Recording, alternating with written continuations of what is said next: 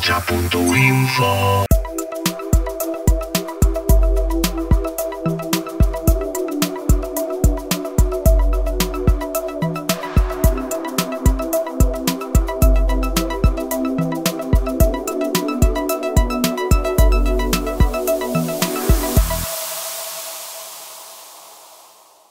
Gaur hemen, batu gara, Josetxo Arizkurenek izan berri duen osasu arazo larria salatu eta bere eta larriki gaixo diren gainontzeko presoen berehalako etxeratzea eskatzeko.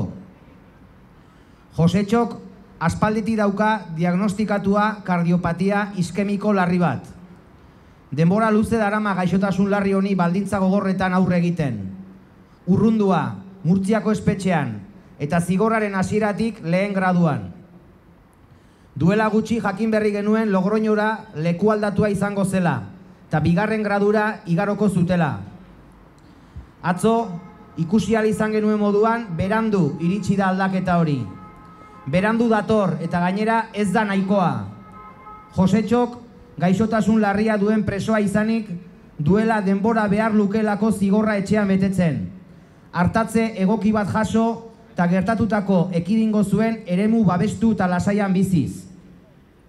Horrez gain, atzotik bere egoeraren inguruan jasotako informazioa nazgarria eta urria dela ere salatu nahi dugu. Atzo, bihotzeko batek jo zuen e, Josetxo Arizkuren. Momentu honetan, plantan daukate uzitik atera berri eta bueno, gutxinaka aurrera doa. Josetxok zuen afekzioarekin gertatutakoa edozein momentutan eman zitekela jakitu ziren espetxe arduradunak. Eta hala ere, lehen graduan urrundua eta legearen arabera eskubide duen askatasun eta zaintza egokirik gabe mantendu dute.